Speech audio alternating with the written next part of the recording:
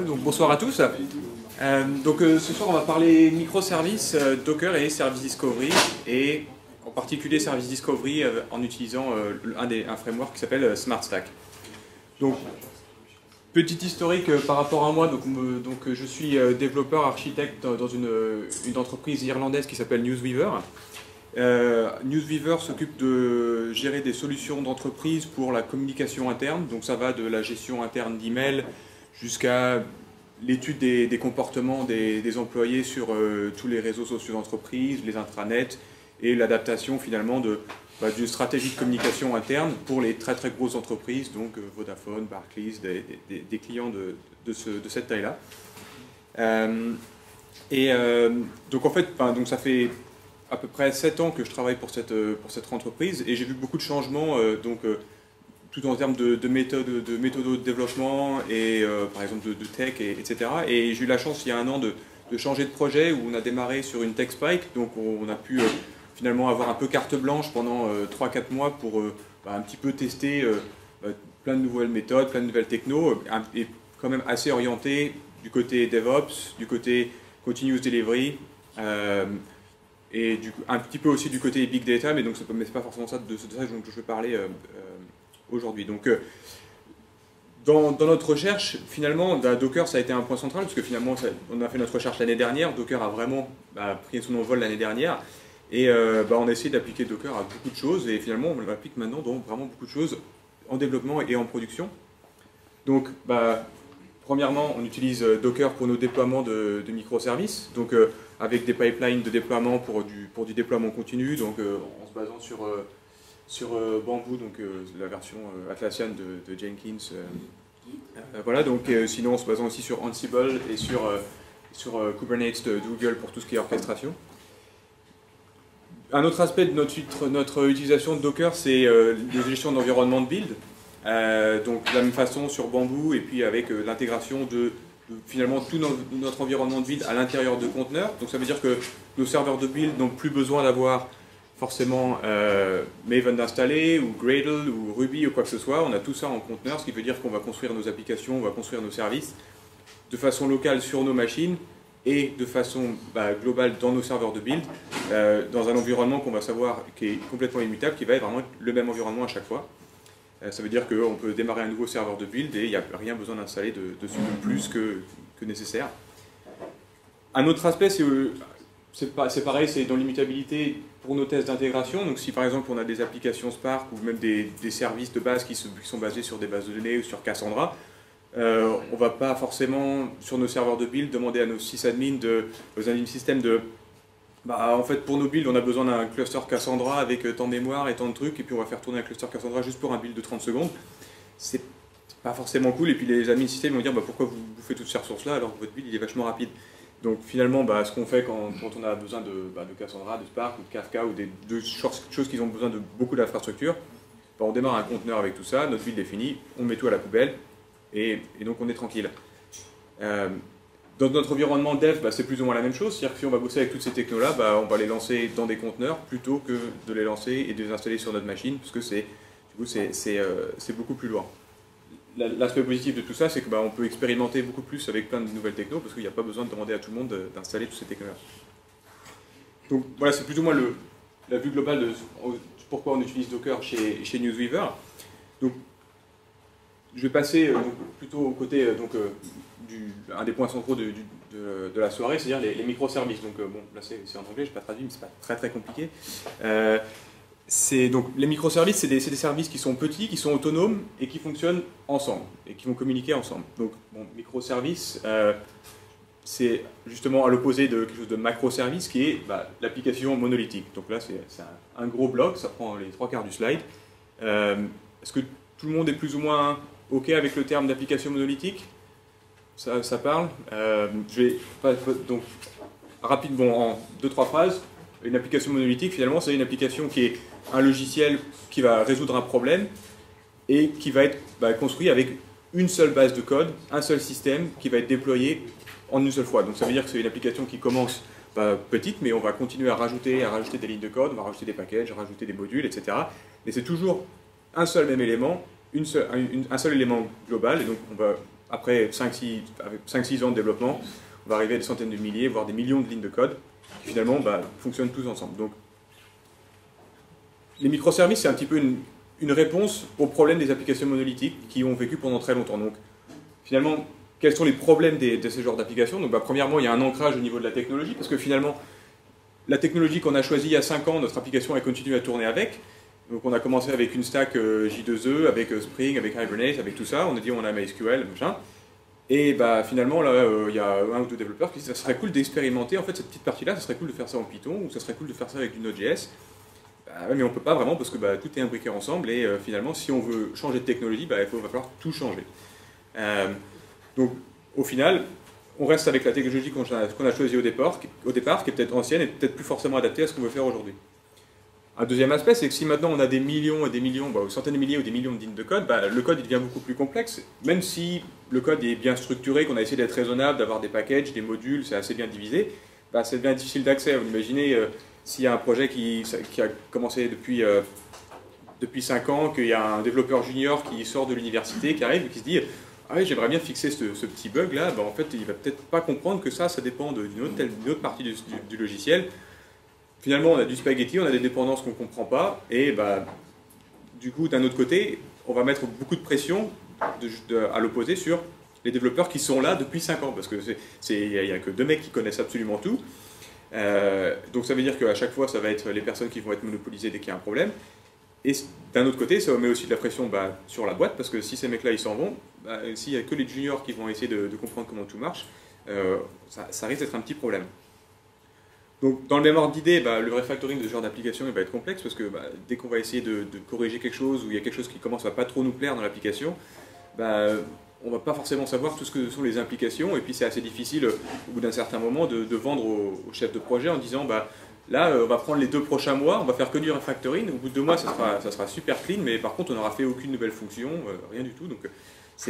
Au final on a une dette euh, technique qui va, continu, qui va continuer à, s'accumuler et finalement, ça va être néfaste pour, euh, pour, l'appli.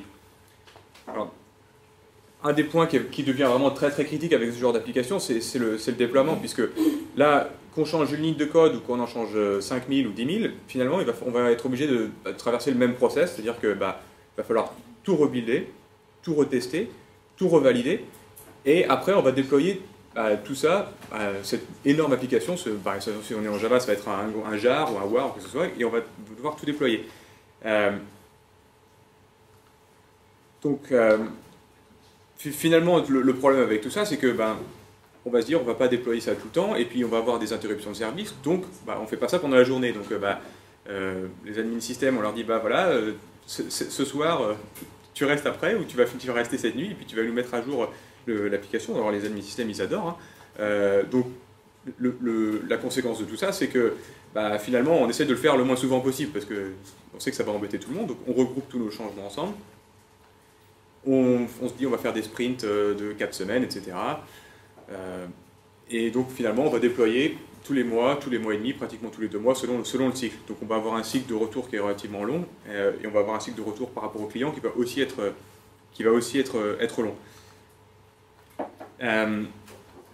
étant donné que tout dans cette application-là vit ensemble, bah, dès qu'on va avoir un problème dans, l'application, ça va être très difficile très difficile de l'isoler. Alors l'isoler d'une part pour essayer de trouver la source d'un problème, mais aussi de l'isoler pour que le problème ne se répande pas sur toute l'application. C'est-à-dire que si vous avez une toute petite partie de nouveau code qui, bah, voilà, il y a une fuite mémoire ou il y a un problème qui, il y a du nouveau code qui prend beaucoup de CPU, bah, il va prendre tout le CPU pour tout le monde puisque toutes les, ressources sont partagées.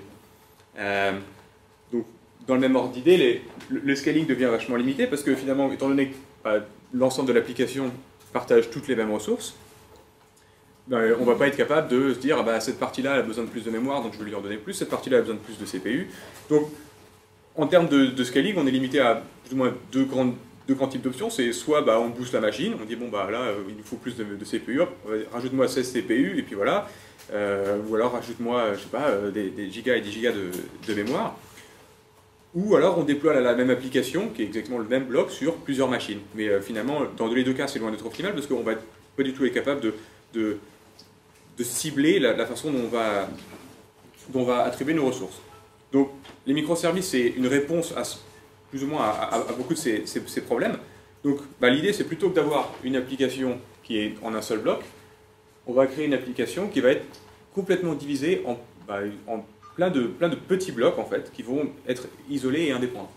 Donc au départ, c'est l'idée de microservice, c'est micro, justement taille réduite, donc c'est petite taille, pour que la cohésion de, de, ce que fait le service soit, soit vraiment très très forte. Donc c'est-à-dire que la cohésion du service, c'est-à-dire que chaque service va être responsable d'une seule tâche et va le faire très très bien. Et il va absolument pas s'occuper de ce que font les autres.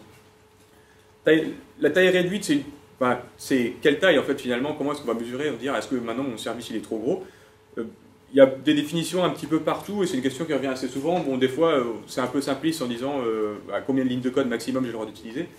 De lignes de code ça dépend du langage hein, parce que bon, si on écrit quelque chose en Java, on écrit deux classes, trois ou quatre getters et puis on est presque à 100 lignes. Hein. donc c'est l'idée qui revient aussi, et c'est plutôt de se dire combien de temps est-ce qu'il va me falloir pour réécrire ce microservice? Si je commençais de zéro, euh, vous dire voilà, un microservice normal, si ça me prend deux semaines à réécrire, ça va.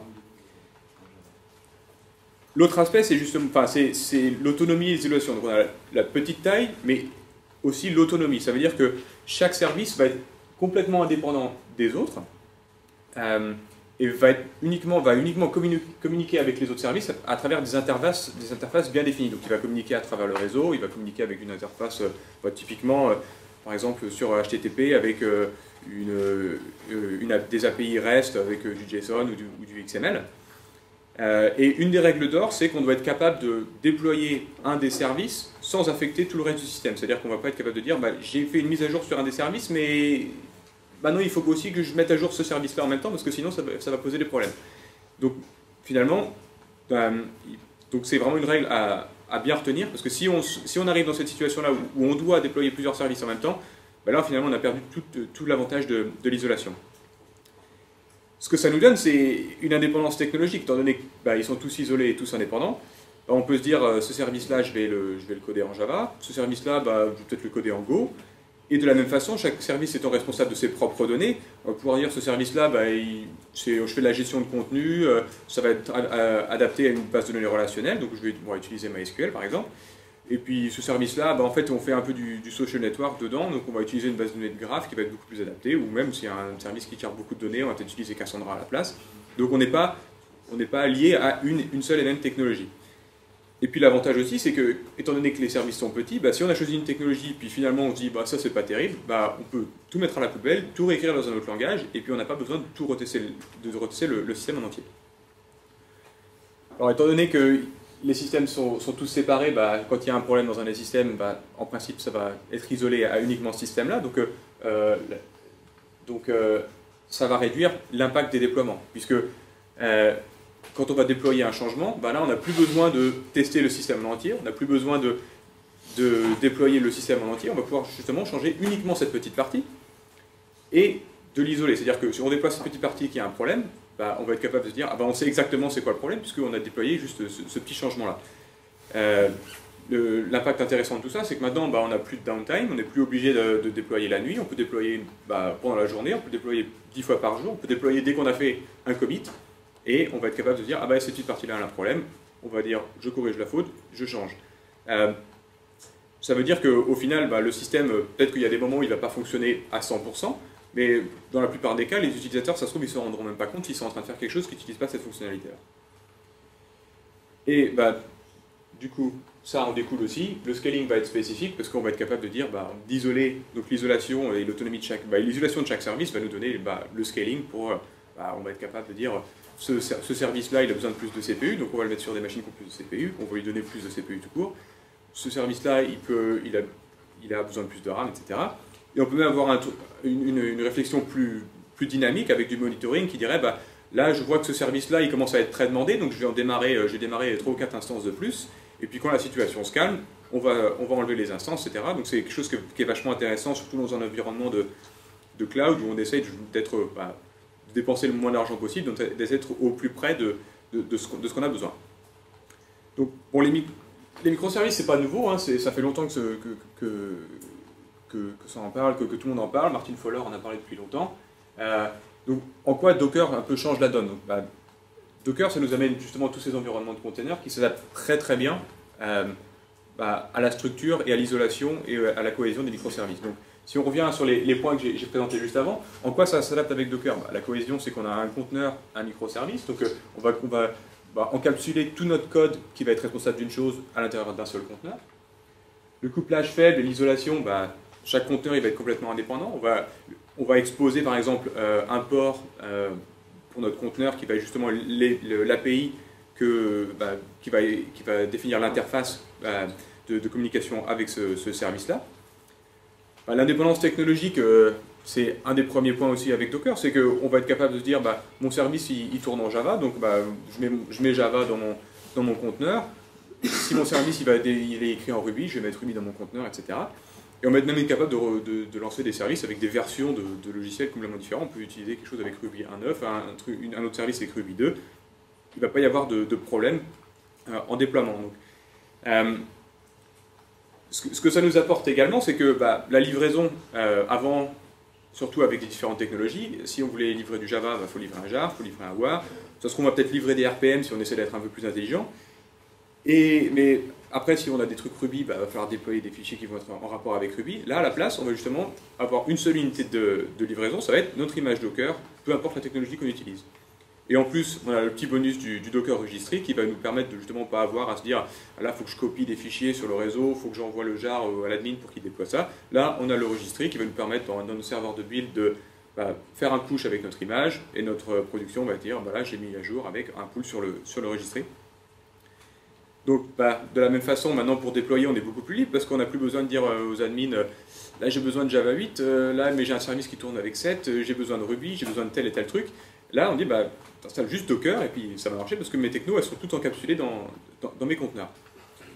Bon, ça, ça marche bien quand on fait des choses plus petites, mais l'avantage c'est que Docker a un écosystème qui est bah, vraiment très très actif et euh, bah, c'est-à-dire que tout le monde a un petit peu commencé à faire toutes ces solutions à sa sauce euh, un petit peu l'année dernière et puis euh, bah, dans, les, dans, les, deux dernières années, parce que bon, il n'y avait pas de grosses solutions d'orchestration, de solutions de discovery, etc. Mais donc il y a énormément de solutions pour, pour, faire des déploiements plus complexes. Donc pour commencer avec des, choses comme Swarm ou Compose, ou euh, comme les solutions de, Google, Kubernetes ou, Mesos pour justement des, déploiements sur des, systèmes plus complexes. Bon, tout ça c'est bien, mais euh, par contre tout ça c'est pas gratuit quand même. Hein. là on est passé d'un système qui, était euh, bah, simple, on a une unité, on déploie l'unité et c'est tout. Là on a des systèmes distribués, donc le système distribué, bah, maintenant il va falloir réfléchir sérieusement à l'interface qu'on a entre chacun de nos services, parce que bah, on, se dit que chaque partie il va falloir la diviser, mais comment est-ce qu'on divise notre système Qu'est-ce qui, constitue un microservice Qu'est-ce qui doit être ensemble Qu'est-ce qui ne doit pas être ensemble euh, le, test et la validation, bah, maintenant, euh, si on regarde la version de notre système, euh, maintenant qu'on a, bah, par exemple, 150 microservices, avec chacun une version différente, c'est quoi la version de notre système? Il n'y a plus vraiment de version de système, finalement. donc, je vous laisse imaginer rapidement, c'est quoi un serveur de test avec les microservices? Est-ce que c'est un serveur où on a déployé bah, tous nos petits microservices qu'on a en développement? Est-ce que c'est quelque chose où on a la même chose que le live avec un seul service qui est mis à jour? C'est-à-dire que quand on va avoir notre, notre service bah, de, de, validation qui va aller voir tout ça, comment est-ce qu'il fait pour vérifier que ce qu'on va faire, bah, ça ne va pas détruire la, prod? Euh, Le continuous delivery, c'est vachement à la mode du coup, parce que là, ce qu'on veut faire, c'est essayer de, faire du déploiement bah, plusieurs fois par jour. Donc, euh, évidemment, on ne va pas faire ça à la main. L'idéal, c'est d'avoir un bouton en disant Hop, mets-moi cette nouvelle version en production et ça passe le pipeline, ça copie les images, ça déploie tout, ça fait des, réplications de, microservices, etc. Par contre, tout ça, euh, ce n'est pas forcément gratuit non plus parce qu'il va falloir mettre tout ça en place euh, à, l'intérieur de, euh, nos serveurs de build et de nos serveurs de déploiement. Et, et puis enfin, le, monitoring qui devient bah, quelque chose de prédominant dans, dans, dans, tous ces systèmes-là. Il va falloir savoir comment les choses fonctionnent parce que bon, quand on a, quand on a un, système monolithique, euh, en général, quand les trucs tombent en panne, euh, on a un coup de fil dans les deux minutes parce qu'il n'y a plus personne qui, est capable d'accéder à quoi que ce soit. Là, on veut être quand même capable de savoir, ah, il y a tel service qui commence à être, à être un peu dur en, ressources, on a tel service qui justement n'arrête pas de redémarrer, des choses comme ça, et des choses qui seraient un peu moins visibles. Donc bah, c'est un peu l'autre côté du fait qu'on a un système maintenant qui est assez solide. On va peut-être pas forcément voir aussi rapidement qu'il y a des problèmes. Euh, donc les microservices euh, et toutes ces descriptions-là, on pourrait sûrement faire toute une soirée euh, dessus, mais je vous conseille vraiment de lire, si vous n'avez pas, le, bouquin de Sam Newman qui s'appelle Building Microservices, qui bah, décrit dans, plus bah, à peu près tous les domaines, justement, le monitoring, le discovery, la sécurité, comment diviser les microservices, etc. vraiment très très très très bon bouquin. c'est avec un très très bon flow sur, sur toutes les idées, etc. c'est vraiment, vraiment à lire. et des bouquins qui sont un peu plus anciens sur le domain driven design qui euh, finalement ne sont pas forcément axés aux microservices mais qui s'y prêtent euh, beaucoup et qui vont permettre finalement de, se faire une idée de quand on va arriver dans une entreprise ou quand on va arriver sur un logiciel existant, comment est-ce qu'on divise notre système en domaines et en contextes, euh, en contextes qui sont plus ou moins isolés et qui vont justement avoir, bah, avoir un intérêt de justement regrouper ensemble ou finalement ne pas regrouper ensemble. Donc, euh, aussi, ça fait pas mal de lecture parce que c'est assez gros comme bouquin aussi. Euh, donc, Service Discovery, on y vient. C'était le, le, thème de, de, ce soir. Alors, le Service Discovery, c'est un des problèmes qui vient justement avec, euh, avec toute cette interface, avec cette, euh, cette architecture dynamique de microservices, où maintenant bah, on, a beaucoup d'instances, on va avoir beaucoup de, services différents. Donc, le nombre de services dans, dans, tout, dans toute cette architecture-là, euh, il va être variable. C'est-à-dire que va y avoir des nouveaux services qui vont peut-être arriver tous les jours, des services qui vont disparaître, mais aussi des instances de services qui vont arriver tous les jours et qui vont disparaître. La, durée de vie, quand on est dans une application euh, large, ça va être, bah voilà, on a déployé euh, le mois dernier, là, bon, on va supprimer l'appli, on va remettre un nouveau jar, et puis on redémarre l'application, voilà, la durée de vie, c'était un mois. là, avec les services, si on essaie, surtout si on essaie de faire des choses assez dynamiques, avec du scaling dynamique, une instance, ça se trouve, la, durée de vie, ça devient quelques minutes. Donc, euh, évidemment, on ne va pas gérer tout ça de façon manuelle euh, en disant ah, j'ai démarré une instance, hop, j'ai dit, euh, j'ai mon fichier en disant ça y est, j'ai une nouvelle instance qui est là. Donc, les, problèmes que ça implique, c'est bah, comment est-ce qu'on va localiser tous ces services-là? C'est-à-dire que là, on va avoir des services qui vont tourner sur différentes machines, on va avoir des services qui vont apparaître, qui vont disparaître. Et si on veut faire du scaling, on veut quand même que tous les services qu'on a, démarrés, bah, il y a une certaine répartition de charges entre tous ces services-là. Donc, comment est-ce qu'on va s'assurer que tous les services qu'on a déployés sont utilisés? Et puis, bah, l'effet inverse, c'est que quand il y a un service qui est plus disponible, ça peut être euh, si le service y plante, si on a décidé de le supprimer, ou si la machine sur le service, euh, la machine sur, laquelle le service est disparaît, s'il y a un problème de réseau, etc. Donc, il y a tous ces aspects-là bah, qui deviennent problématiques. Donc, petite checklist euh, avant que j'essaie de. Alors, je vais essayer de résoudre, de résoudre, de proposer quelques solutions au, problème du service discovery. Euh, et avant ça, elle propose une petite, euh, petite checklist finalement de, des choses qu'on doit garder en, idée par rapport à, la solution. Donc, on veut quelque chose de suffisamment dynamique pour que les services réussissent à s'enregistrer et à découvrir les autres services, pour que finalement un service qui serait capable de répondre à une requête, bah, il reçoive ces requêtes-là. Euh, on veut un load balancing justement pour répartir la charge. L'idéal, ça serait aussi que, ça soit, que cette solution de, de discovery soit suffisamment abstraite pour les clients, parce que la dernière chose qu'on veut faire, c'est finalement maintenant on a besoin de faire du service discovery. Donc on va coder ce service discovery dans chacun de nos microservices. Finalement, bah, tout ce qu'on a fait, c'est qu'on a, saupoudré tous nos microservices avec du code en plus. Et bah, si on a fait quelque chose pour avoir des microservices de 200 lignes, ça ne sert à rien qu'on rajoute 500 lignes de discovery à chaque fois dans chaque. Euh, donc il faut, que ça reste suffisamment abstrait. Et euh, on veut bah, évidemment une gestion des erreurs et une, une, résistance pour tous les, problèmes extérieurs. Donc comme j'ai dit, c'est on veut savoir euh, on va essayer d'anticiper au, plus rapidement possible quand il y a un problème avec un service et quand un service n'est plus disponible pour des raisons matérielles, pour des raisons de, réseau.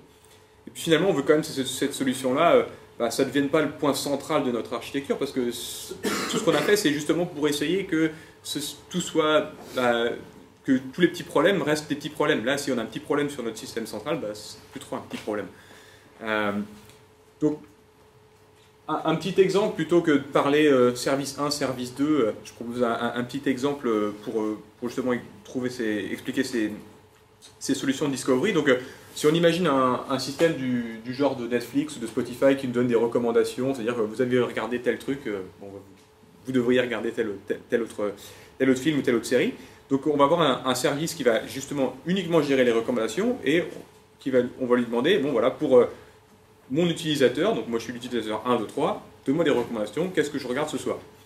Alors le système de recommandation, lui, il ne sait pas, il se dit, bah, euh, moi, pour savoir ce que, ce que tu veux regarder, il faut que tu me dises euh, bah, qu'est-ce que tu as regardé. Donc euh, finalement, lui, il va aller se, référer à un autre service qui est un service historique, qui, lui, en a rien à faire des recommandations. Lui, tout ce qu'il sait, c'est bah, moi, 1, 2, 3, il a vu tel truc, tel truc, tel truc, je, sors ça, je, je stocke tout ça dans Cassandra parce que ça prend beaucoup de place. Et il va dire, ah, bah, utilisateur 1, 2, 3, il a regardé Breaking Bad. Donc, le service de recommandation, maintenant, il est capable d'analyser cette, donnée, il a des algos, etc. Va dire, bah, tu devrais regarder Better Saul parce que tu as regardé Breaking Bad.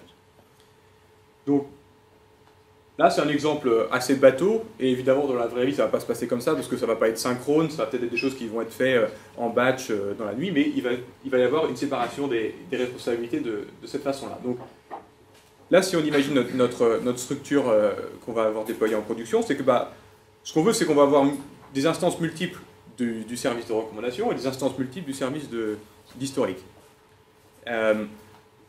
Maintenant, comment ces instances elles arrivent à communiquer entre elles, comment elles se découvrent les unes les autres, et bah, finalement comment la charge est répartie entre tous ces services-là. Donc, bah, une première idée, c'est qu'on se dit, bah, en fait, finalement, bah, on va déployer notre service, et quand on le déploie, on lui donne un petit, un petit fichier de config qui va lui dire, bah, je déploie mon, mon, service de, recommandation, et je lui dis, bah, si tu veux, chercher, si tu veux trouver l'historique, bah, tu vas demander à 111, puisque c'est là que est déployé mon service d'historique. Donc, le, le, service de recommandation fait sa requête, et voilà. Donc, c'est un petit peu basique, et donc, c'est pas vraiment dynamique non plus, puisque finalement, là, maintenant, euh, si on a un problème, si, on, si le service d'historique disparaît et on va en démarrer un autre, bah, l'IP échange. Donc maintenant, il va falloir changer le le fichier de propriété. Et maintenant, il va falloir redémarrer le système de, de recommandation parce qu'il va uniquement avoir pris en compte les propriétés au démarrage.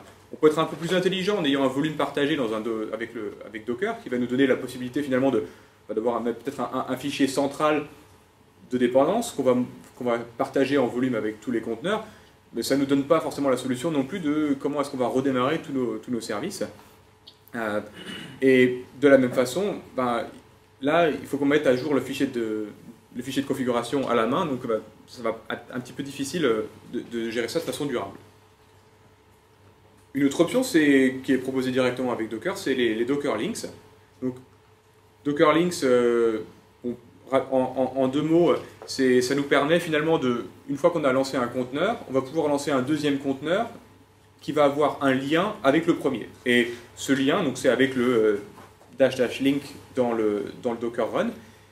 Ça, ça va faire un, petit peu de, magie dans le conteneur qu'on vient de lancer, qui va rajouter des variables d'environnement, et puis surtout qui va éditer le fichier host pour euh, finalement avoir un hostname qui va rediriger vers euh, le Docker qu'on a, linké au, départ. Donc là, c'est vachement intéressant pour notre, euh, isolation de, de, la responsabilité, parce que notre service de recommandation, maintenant, bah, il ne parle même plus avec des IP. Tout ce qu'il va faire, c'est qu'il va utiliser le hostname qu'on a utilisé pour le link. Donc bah, c'est assez cool, parce que là, maintenant, on a une dépendance qui est évidente, parce que bah, le lien qu'on a créé avec le link, il va nous dire, bah, voilà, tel service, il dépend sur tel autre service. Et puis on a le hostname qui nous donne justement la simplicité pour le client. Euh, et en plus, on peut même utiliser Docker Compose, Xfig, euh, qui euh, va nous permettre bah, d'avoir, plutôt que d'avoir des commandes Docker Run, d'avoir par exemple 5 ou 6 services qui se linkent entre eux dans un petit fichier de configuration. Le, le problème, c'est que ça, c'est toujours pas vraiment dynamique. Parce que comme vous le voyez, le link qui se fait dans un ordre défini, c'est-à-dire que si maintenant on supprime notre service d'historique, bah, le, service de recommandation, il a toujours le hostname euh, viewing historique qui va aller vers 1.1.1. Euh, donc là... Docker Link, il marche en multi-host Ou c'est que sur la même machine Alors en multi-host, avec Swarm, il marche? Pas encore. Pas encore. Donc euh, Swarm essaie de... de ouais. Ouais. Donc euh, voilà, donc c'est aussi un autre problème, c'est que si on là, là maintenant on est sur multi-host, c'est plus difficile. Euh, et de la même façon, c'est un peu dur d'imaginer pour des pour des euh, pour des situations où on va avoir multi, des instances multiples, parce que les liens c'est un lien. je veux dire, bon, on pourrait dire historique 1, historique 2, historique 3, mais bon, c'est quand même pas très élégant. Alors, là, l'aspect qui était intéressant, c'était finalement l'aspect de hostname. Donc, si on va utiliser le hostname, pourquoi est-ce qu'on n'utilise pas un DNS finalement? DNS, c'est quand même un truc qui, existe depuis longtemps. On va se dire, bah, plutôt que d'utiliser ça, je on va dire mon service de recommandation d'aller voir un DNS dans lequel on a écrit bah, les instances et la description de notre, topologie de, système. Donc on va dire, voilà, j'ai mon viewing history.service qui va sur 1111, ce que je sais. Et donc il va utiliser ce hostname là de la même façon que, dans l'exemple précédent. Même façon, on a la simplicité pour les clients parce qu'on utilise des, hostnames. Et puis avec le DNS, on peut faire des choses un peu plus sympas avec du, load balancing sur des instances multiples en, en round robin. Le gros problème du DNS, c'est la propagation en fait. Parce que le DNS, il, a, va nous donner aucune garantie que nos systèmes de recommandation, il va aller vérifier que ces, choses-là ont, été mises à jour. Le DNS a des, systèmes de TTL qui veut dire, bah voilà, mon, mon, nom de domaine maintenant, mon hostname, il est expiré mais ça ne garantit en aucun cas que les librairies qui gèrent tout ça localement vont, vraiment se, charger d'aller rafraîchir tout ça. Euh, et en plus, c'est assez non déterministe parce que selon la topologie du réseau, on ne sait pas de quelle façon ça va se, ça va se propager. Donc, DNS, finalement, c'est pas forcément une bonne idée non plus. Euh,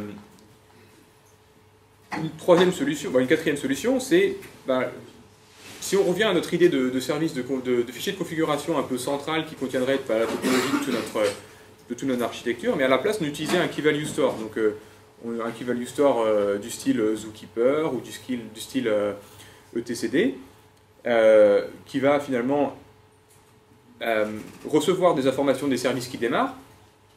Donc, quand les services démarrent, ils vont s'inscrire pour dire voilà, moi je suis disponible sur telle adresse. Et le service de, les services, de, les, services clients, c'est-à-dire le, service de, recommandation, il va aller demander au Key Value Store, voilà, moi j'ai besoin d'un service historique, est-ce que est tu en as un? Et j'en ai un sur tel IP, et donc je l'utilise. Euh, là, on commence à arriver à quelque chose de beaucoup plus dynamique, parce que maintenant on a les services qui s'enregistrent tout seuls, et on a des, clients qui, découvrent des instances. En plus, avec l'équivalent store du style de, Zookeeper, on a des systèmes de watch qui vont nous permettre bah, d'être informés automatiquement dès qu'il va y avoir des changements à l'intérieur du, du store. C'est-à-dire que là, on n'est plus dans un, modèle en, pool, comme était le, DNS, où on, on, essaie, on espère que les, services vont se mettre à jour. Là, on est dans un service en push, où justement, on va dire, là, là j'ai un changement, j'ai une nouvelle instance, ou telle instance a disparu, et le service est capable de se mettre à jour directement. Bon, le premier point un petit peu négatif de tout ça, c'est que maintenant, bah, là, il va falloir installer Zookeeper, il va falloir installer TCD, et puis ça, c'est pas forcément gratuit non plus. Euh, donc, un Key Value Store, donc achat donc, euh, highly available, pour, euh, ça veut dire que pour Zookeeper, il va falloir démarrer trois instances. voilà, c'est un petit peu plus lourd que de démarrer un DNS ou d'avoir un petit fichier de config. par contre, dans cet exemple-là, si on voit les, flèches, là, elles partent et elles arrivent dans nos services directement. Donc là, finalement, tout ce qu'on avait gagné avant de, bah, de simplicité dans nos services, maintenant, bah, la logique de, découverte, c'est-à-dire que la logique de euh, voilà, je suis à tel endroit, je me publie dans Zookeeper, c'est-à-dire qu'on va avoir une dépendance sur Zookeeper à l'intérieur de, notre code de service. Bah, du coup, c'est plus très élégant parce que notre service qui devait maintenant juste gérer l'historique, maintenant il gère l'historique et en plus il gère Zookeeper. C'est moyen. Par contre, on ne va pas tout jeter parce que a quand même un, système qui est, qui est, assez élégant et dynamique. Donc le petit pas supplémentaire pour avoir une solution qui est un peu plus viable, c'est d'utiliser un ambassadeur ou, d'utiliser des, petits systèmes qui vont vivre juste à côté de notre service, qui vont s'occuper de toute cette logique-là. Donc au lieu que ce soit notre service directement qui parle au, à Zookeeper donc au Key Value Store, avoir une petite appli euh, qui vit juste à côté et qui va s'occuper de savoir bah, moi c'est quoi mon IP, je suis quel service et euh, voilà comment je m'inscris, comment, comment je me désinscris, etc. Et de la même façon, bah, on va avoir un, service qui vit juste à côté de nos services, de, service client, qui va gérer tout ça localement, et qui en plus va rendre la communication invisible au service de recommandation, qui va bah, communiquer de façon invisible à l'intérieur pour dire bah, moi j'ai besoin d'un service historique, et cette, petite partie, ce, petit script, ce, petit, ce petit soft à l'intérieur de notre, conteneur va gérer de la redirection vers un service qui a été découvert. Donc là, euh, finalement, on commence à arriver à des choses bien, euh, intéressantes. Maintenant, c'est très dynamique puisqu'on a l'inscription, on a, le, on a la découverte, puis on a la découverte dans les deux sens avec des watch, et on a la simplicité pour les clients. Bon, par contre, pas de bol, il va quand même falloir utiliser Zookeeper, mais bon, on peut pas gagner, on peut pas gagner à chaque fois. Euh, et donc, ça montre bien que ces genres de systèmes-là, il n'y a, pas de solution, pas de solution miracle. et donc, ce, type de solution-là, c'est ce que nous, on a mis en place dans notre dans notre architecture et euh, on a mis ça en place en utilisant un framework qui s'appelle euh, SparStack euh, qui permet justement la découverte avec ce, genre, de, ce genre de pattern. Donc, SmartStack à la base, c'est pas un, pas un framework qui a été euh, conçu forcément pour être, euh, pour être pour Docker ou pour être à l'intérieur de compteurs. C'est un framework utilisé pour le discovery, mais sur des machines complètes avec peut-être plusieurs services qui tournent. Mais nous, on l'a adapté, on a un peu adapté euh, les fonctionnalités pour faire tourner ça à l'intérieur de conteneurs. Donc SmartStack, c'est un framework qui a été mis open source par les, développeurs de, Airbnb, qui sont assez fiers sur, sur certains blogs, etc., qui ont eu pas mal de, petit blog sympa avec euh, les gars de, Consul qui disaient que c'est, en fait c'est pas terrible, mais justement les, mecs de Airbnb étaient assez, euh, euh, assez fiers de, ce qu'ils ont fait. Donc c'est, c'est dispo par l'intermédiaire de, deux petits softs qui s'appellent Nerve et, Synapse et qui se reposent sur donc Zookeeper pour le Key Value Store et sur HAProxy pour la gestion ambassadeur pour les redirections à l'intérieur des clients. Donc, si on revient à notre exemple de, on a notre viewing, notre service historique, on a qui expose une API et qui bah, est là, qui attend de recevoir des requêtes de nos services de recommandation. Et puis on a notre, notre zookeeper, donc ça veut dire qu'on va avoir peut-être euh, trois nœuds zookeeper qui vont être sur trois différentes machines, qui vont nous assurer que bah, justement zookeeper ne devient pas un point central de notre architecture. S'il y a un des nœuds qui tombe en panne, le reste va continuer à prendre le relais. Euh, donc euh, là, on a, on a un peu, bah, s'est débarrassé de notre problème de single point of failure. Alors, le premier aspect, c'est que bah, si on revient sur notre, notre, notre pattern de départ, c'est qu'on veut nos, deux petits, scripts nos deux, petits softs qui vont être juste à côté de nos services. Donc, dans un premier temps, on va avoir l'appli qui s'appelle Nerve, qui va gérer la publication en fait. Nerve, il va se dire, bah, voilà, donc moi, je suis un viewing euh, history, et euh, je suis sur telle machine, et il se publie, et il va être stocké dans, le, dans Zookeeper. De l'autre côté, on va avoir Synapse qui va s'occuper de la découverte. Donc il va dire, bah, moi j'ai besoin d'un service euh, d'historique. Zookeeper va dire, bah oui, il y a un service historique qui est disponible parce qu'il y en a un qui vient de se publier. Et Synapse va communiquer à, Chaproxy pour, pour euh, finalement configurer un ambassadeur à l'intérieur de nos conteneurs qui va permettre à l'application, plutôt que de communiquer directement avec l'API de notre service, de communiquer avec l'API euh, d'un service qui vient d'être découvert. Donc ça, c'est une vue d'ensemble. Si on zoome sur notre, notre, notre, partie publication, donc la partie avec Nerve, donc notre service historique, il a une application, donc par exemple une application en Java, un Drop Wizard ou un Spring Boot, qui va exposer une API sur le port 8080 et qui est sur euh, donc, euh, un, conteneur qui a une IP sur le, réseau Docker qui va être 1.1.1. Et on a notre quorum zookeeper euh, à droite. Donc, première chose qu'on fait, c'est que bah, a une petite configuration pour, euh, dans, dans pour euh, expliquer bah, qui je suis, où je suis et comment est-ce que tu peux m'envoyer des requêtes. Donc, je suis viewing history, je suis sur telle IP, je suis dispo sur tel port. En bonus, on a aussi un petit un, health check, donc, je vais revenir sur le health check juste après. donc avec toutes ces informations-là, bah, Nerve, il va dire je me publie, je vais m'inscrire dans Zookeeper avec, avec toutes ces infos-là. Et en plus, je vais aller vérifier périodiquement, donc c'est-à-dire toutes les secondes, toutes les deux secondes, que mon application elle est en bonne santé. C'est-à-dire que si notre application commence à, à, devenir sous pression, ou si par exemple l'application se repose sur une base de données et puis la base de données n'est pas disponible, l'application va être capable de dire, au lieu de, renvoyer simplement 200 OK euh, sur, le, sur ce point d'API, va renvoyer 500 ou 400 ou peu importe, un, code d'erreur qui va, informer Nerve en disant bah là, euh, moi, ça sert plus à rien de m'envoyer des requêtes parce que je ne vais pas être capable de répondre. En conséquence, Nerve va aller supprimer cette information qu'il vient de publier de Zookeeper, et ça va disparaître du, système de découverte, et donc il n'y aura plus, de requêtes. Euh, euh, donc voilà, donc avec, le, le check, on va pouvoir avoir un, aspect dynamique où finalement on va essayer de retirer au plus vite possible l'application qui ne se comporte pas correctement.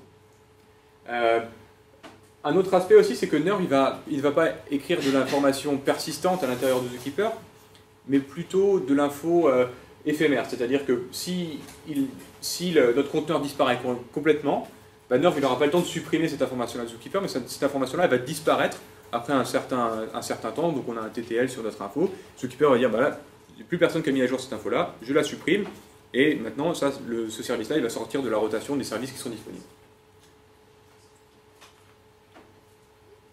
L'autre côté de l'histoire, maintenant, c'est notre service de recommandation. Donc, le service de recommandation, il a besoin de, trouver un service d'historique. Donc, on a le service historique qui est là, qui a été publié tout à l'heure.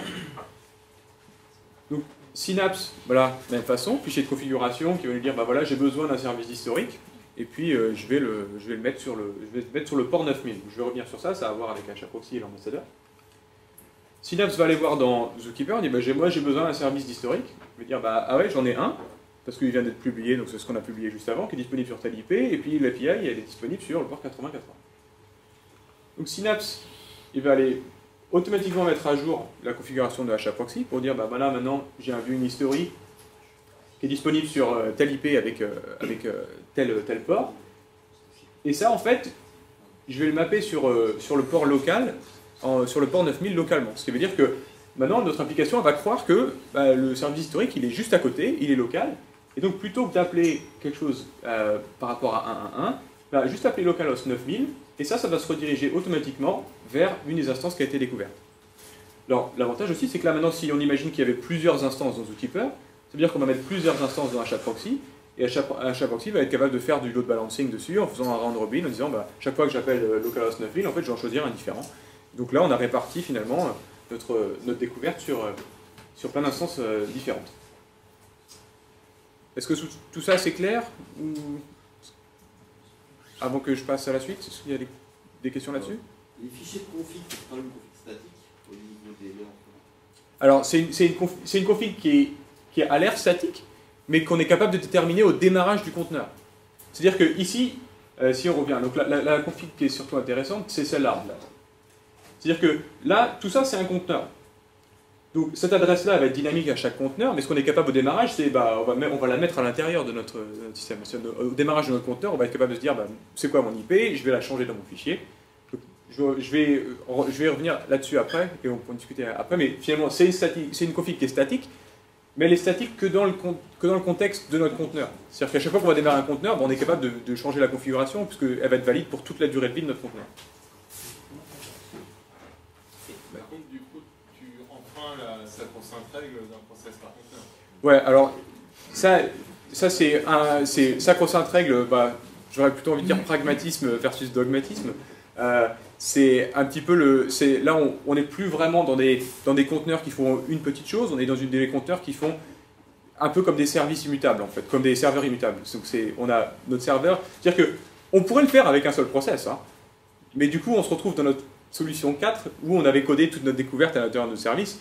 Et puis, bah, finalement, Synapse, Enerve, enfin, et puis HRProxy, c'est des choses qui sont vachement light, euh, qui vont être capables de, rester. Mais c'est vraiment, c'est une des choses sur lesquelles on a été assez hésitant aussi au départ, en disant, bah là, euh, on a plein de process à l'intérieur de notre, plein de process, on va avoir deux ou trois process au lieu d'un à l'intérieur de notre conteneur, mais on est plutôt dans l'esprit, justement, dans l'esprit serveur immutable, plutôt que dans l'esprit, euh, bah, j'ai un conteneur qui va juste lancer un process, en fait. Et à la rigueur, tu pourrais le mettre dans un conteneur dédié d'avoir plusieurs Oui, oui, oui. On peut utiliser un ambassadeur dans un, dans un conteneur différent si possible. Mais... Non, mais si, effectivement tu as peur que le conteneur parte en vrille, on va savoir pourquoi. Ouais. Démarre dans un conteneur, tu les fais ensemble, ça fait juste deux process qui sont isolés. Oui, oui, c'est possible. Ah bah si, ça change rien d'autant de process. Oui, tu as autant de process. Donc oui, au final, c'est un seul process à chaque fois. Est-ce que à chaque proxy qui est dans de l'autre côté, là, euh, le aussi. Alors, ça c'est ça du coup en fait alors ce que j'avais été jusque là. Ah non d'accord. Alors ça c'est un, truc c'est il y a un, petit truc en plus. Il y a un petit ping en fait. Parce que si on revient à notre, notre problème d'avant où on avait notre TTL justement sur notre nœud éphémère de Clipper, donc imaginons qu'on a notre, notre conteneur, ben voilà, notre conteneur disparaît. Donc là, c'est notre TTL, c'est 10 secondes, ça veut dire que pendant 10 secondes, dans Zookeeper, on va avoir une IP d'un service qui finalement n'est jamais disponible. pendant 10 secondes, on a le risque qu'il y a des, clients qui vont envoyer des requêtes de service là et qui ne vont pas avoir de réponse. HAProxy permet en plus d'avoir un, de, vérifier d'avoir un ping finalement sur les services qu'il a découverts, donc sur tous les backends qu'on va avoir. Il va être capable de pinguer en disant bah, je vais leur faire envoyer un ping tous les 2 secondes, tous les 5 secondes. Et si jamais ce ping-là il répond plus, c'est-à-dire que j'ai peut-être, c'est le service de euh, Rise and Fall en fait, en disant si j'en ai deux ou trois pings consécutifs qui ne fonctionnent plus, j'arrête d'envoyer des requêtes sur, euh, sur, ce, sur, euh, sur cette, sur cette IP-là. Alors, ça a un avantage, c'est que ça permet de, découvrir que on a, on a une instance qui a disparu euh, plus rapidement. Et dans un, dans un deuxième temps, ça permet aussi de, de contrecarrer des problèmes de, par exemple, d'un d'un réseau qui serait, euh, un sous-réseau par exemple, qui serait pas accessible. C'est-à-dire que là, sans ça, on est obligé de prendre toute l'information qui est dans Zookeeper pour Content, c'est-à-dire pour Agent Content, on est obligé de, de se dire, bah, c'est une IP là, mais ça se trouve, ça se trouve c'est sur un autre réseau qui a accès à Zookeeper qui s'est publié dedans, mais moi j'ai pas accès à ce réseau-là. Donc euh, si là, ce ping-là, il va être capable de dire, bah en fait, euh, moi j'ai des services qui sont juste à côté de moi, je vais les utiliser parce que les autres, je les vois pas. Donc euh, ça, ça permet un petit peu deuxième niveau de, bah, de, de résilience sur, ce, sur cet aspect-là. Faire du load. Hmm Et puis on pourra faire du load balancing si notre microservice doit consommer euh, plusieurs autres services derrière. Bah oui, parce que là, là, du coup, on va être capable d'utiliser euh, tous les IP qu'on va avoir, on va utiliser uniquement celles, celles dont, bah, tous, les, tous les services qui vont être là. Alors, de quoi ça a l'air euh, De quoi ça a l'air à l'intérieur de, à l'intérieur de, bah, du- d'une image Docker? Donc, euh, bah, les- notre conteneur, il va être construit en couches. Donc, euh, on démarre, au départ, euh, c'est une distribution de base, donc on va utiliser Ubuntu ou peu importe. On un truc un peu plus light si on ne veut pas utiliser Ubuntu qui fait peut-être euh, quelques centaines de mégas.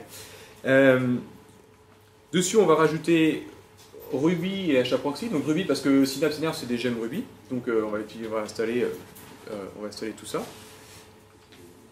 Et nos deux petits scripts qui vont nous démarrer Synapse et, Nerve. Donc un, aspect qui n'était pas forcément visible sur ce que j'ai présenté avant, c'est que il y avait Nerve était dans un, conteneur et Synapse est dans l'autre. Mais on peut forcément imaginer qu'il y a des conteneurs qui ont les deux. Parce qu'il y a des conteneurs dans notre architecture de service qui vont être au milieu de l'architecture, qui vont avoir besoin de, découvrir des services et d'être découverts par d'autres. Donc euh, ils, peuvent vivre, peuvent vivre à côté. Donc ces petits scripts-là, c'est justement ce qui gère cette configuration qui avait l'air statique, qui va finalement au départ faire des, des petites modifs de fichiers de configuration pour dire, bah, voilà, je suis sur telle IP, euh, euh, etc. Donc là, ça, ça, constitue une, image de base Smart Stack qui va, euh, bah, qu'on va pouvoir réutiliser euh, derrière. C'est-à-dire que maintenant, on n'a aucun langage, on n'a aucune techno qui est, basée là-dessus, bon, à part Ruby, mais ça c'est à cause de, à cause de Synapse et de Nerve. Et donc là, si on faut s'imaginer, on a notre, notre appli Java. Donc on va installer Java. Donc là, on démarre une nouvelle image Docker qui, qui démarre de cette base SmartStack. Et puis dessus, maintenant, on ajoute notre, euh, notre code core de service qui va être euh, bah, donc, un jar et puis nos petits fichiers de configuration Synapse Nerve. Donc Synapse, ça va, être un fichier générique qui va nous dire j'ai besoin de tel service et tu vas me les mapper sur tel port localement. Et la configuration de base Nerve qui va finalement juste indiquer euh, bah, comment je m'appelle et puis euh, mon API elle est sur quel port. Et un petit script de démarrage qui, bon, bah, c'est le petit hack euh, de, de démarrage quand on veut démarrer plus d'un seul truc euh, à l'intérieur d'un- d'un- conteneur. Donc là maintenant on a, une nouvelle couche, c'est qu'on a une base Smart Stack et une, techno. Donc ça veut dire que là maintenant on a créé une image qui est Smart Stack Java. Et donc maintenant on va être capable de dire, bah, maintenant j'ai un autre service qui est en Java aussi, bah, je, vais, démarrer à partir de cette couche-là, je vais rajouter mon jar, ma config, mon, mon script de démarrage, et c'est joué. Et donc derrière, on a le code de service et la config. Donc si on arrive après, qu'on se dit, bah, en fait j'ai envie de faire du Node, mais j'ai envie quand même d'utiliser la découverte, bah, hop, j'installe Node.js, j'installe mon serveur JS, mes petits fichiers, etc., ma config et mon script de démarrage. Donc, de quoi ça a l'air avec, euh, dans le Dockerfile Donc là, si je démarre directement du Smart Stack Java, donc je vous épargne toutes les installations de et compagnie. Euh, euh, surtout que c'est pas trop trop marrant. Hein, des images qui sont pas très très propres au départ. Donc, on va démarrer de Smart Stack Java, donc euh, simple from Smart Stack Java. On ajoute nos fichiers de, de- de découverte, donc ça va être des fichiers relativement simples qui vont justement dire bon, qui je suis et qu'est-ce que je recherche. On rajoute notre jar qui est notre, notre corps de service, donc c'est notre, notre euh, application compilée, et notre script de démarrage qui va démarrer tout ça. Donc le script de démarrage, euh, il est un petit peu tout basique aussi, hein, c'est on démarre Synapse, on démarre Nerve, et puis on démarre notre jar. Euh, C'est du comme. Ouais, ouais, moi je suis pas admin système, moi je suis dev, hein, donc il y a des trucs euh, pas terribles dans le système. Et euh, donc bah, quand on va utiliser ça directement bah, avec Docker, on va construire euh, le service avec build et derrière on a un run. Le seul petit truc au milieu, c'est finalement la seule chose dont on a besoin de savoir, c'est Zookeeper. Il faut savoir où il est. Donc là, ce qu'on peut faire, c'est qu'on on peut utiliser une variable d'environnement. Par exemple, là, ça s'appelle zk host, qui va être injecté justement dans les fichiers de configuration avec les scripts de démarrage. Euh, qui vont euh, bah, finalement avoir, on va pouvoir passer tout notre quorum Zookeeper qui va nous permettre justement le, le achat sur, sur ça. Une petite démo, en espérant que ça marche. Alors j'ai pas euh, fait de, j'ai pas créé un système de recommandation euh, comme Netflix. hein. Euh, C'était un petit peu long. Et puis le problème avec euh, le, problème avec le service Discovery, c'est que quand, quand ça marche bien, bah, c'est difficile à voir en fait, parce que quand ça marche bien, ça marche bien, et puis il n'y a pas de problème. Donc j'ai créé un truc un petit peu, un petit peu basique qui serait normalement un petit peu visuel, en espérant que les couleurs passent bien. Euh, donc on a un, service euh, qui s'appelle Color UI qui va, qui veut, qui veut afficher des couleurs. C'est le bar. hein. On a un service de, de Color UI qui va afficher des couleurs, et, euh, mais par contre il ne connaît pas les couleurs. Par défaut, il ne sait pas comment trouver des couleurs, il, il veut juste afficher une couleur mais il ne connaît pas les couleurs. Donc il va aller chercher ces couleurs-là sur un color service qui lui, bah, lui il ne sait pas comment les afficher mais il, connaît les couleurs. Donc euh, le color service, ce qu'il fait, c'est que dès qu'il démarre, il choisit une couleur, et puis à chaque fois qu'on va lui demander, bah, il va répondre toujours la même couleur. Par exemple, on a démarré trois, on a dit un qui va répondre bleu tout le temps, un qui va répondre rouge tout le temps, l'autre qui va répondre vert tout le temps. Le service Discovery va relier tous ces, tous ces services ensemble. Donc le color service, il va utiliser Nerve pour se- pour s'enregistrer, le color UI service, il va utiliser Synapse pour les découvrir. Et quand il va lancer une requête, bah, ça va en choisir un, la prochaine fois ça va en choisir un autre, ça va en choisir un autre, etc. Et bah, là on a choisi bleu et ça va afficher la couleur bleue. Donc, démo, en espérant que ça marche.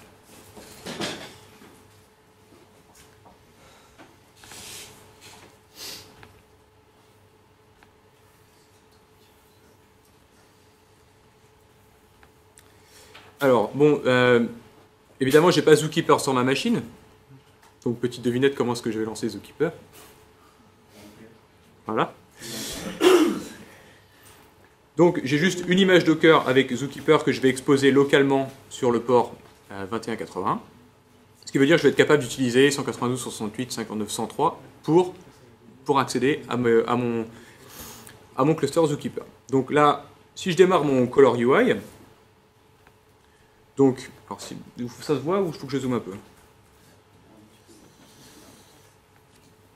Donc là, je, dé- je- je démarre mon Color UI sur le port 80-80 loca- sur le port 80 localement, et donc je passe en disant, bah, mon, mon Zookeeper, il est sur, sur telle adresse. Donc là, on, devrait pouvoir voir quelque chose apparaître. Voilà, maintenant j'ai mon, mon service de couleur là, mais bon, bah, il y a pas de service de Color UI, mais il n'y a pas de couleur dispo. Donc là, bah, il n'est pas capable d'afficher une couleur. Donc si on, démarre un des services de couleur, donc là c'est pareil, j'en démarre mon color service, je lui passe le zookeeper pour qu'il soit capable de se, de se publier. Même pas besoin de l'exposer, puisque finalement les deux services-là ils vont communiquer à l'intérieur du réseau Docker. Et là maintenant, bah, il est capable d'afficher une couleur. Il a réussi à découvrir le, le service. Alors qu'est-ce qui se passe si on supprime... euh, Alors je vais essayer de réduire ça pour qu'on essaie de voir. Qu'est-ce qui se passe si on supprime ce service-là? Ah, C'est bien, c'est lisible là. Euh.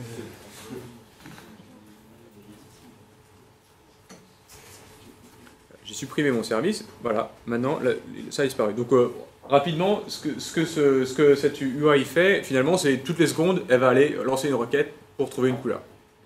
Donc euh, finalement, au bout de secondes, elle capable de dire, voilà, j'ai plus de couleur, donc voilà. Maintenant, qu'est-ce qui se passe si on se dit, bah maintenant on veut en lancer plusieurs, et puis essayer de voir un peu le, le, round robin euh, s'afficher Bon, c'est 1, 2, 3. Alors là, le temps que ça se publie, le temps que ça arrive, donc voilà, là on a un, un deuxième. Voilà, donc là il est capable de faire, combien il en a que deux Il y en a deux qui sont bleus quoi Ouais, c'est possible. Il y en a peut-être deux qui sont bleus.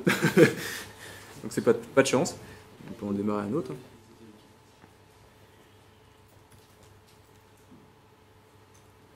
Alors il y a une autre petite appli aussi que, que j'ai écrite qui permet finalement de voir ce qui se passe dans, à l'intérieur de, Zookeeper qui va nous dire euh, j'ai tel, euh, tel et tel service. Ah, ça apparaît. Donc il va nous dire là, là j'ai, euh, c'est les services qui, sont disponibles. Et donc ça va, on va avoir le, le robin qui se fait sur, sur ces services-là. Donc si on, si on supprime par exemple le dernier qu'on avait,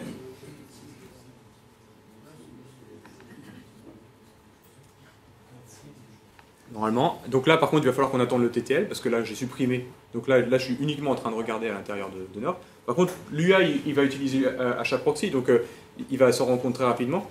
Là par contre il va falloir attendre que le nœud disparaisse de Zookeeper euh, pour, que ça, pour que ça disparaisse.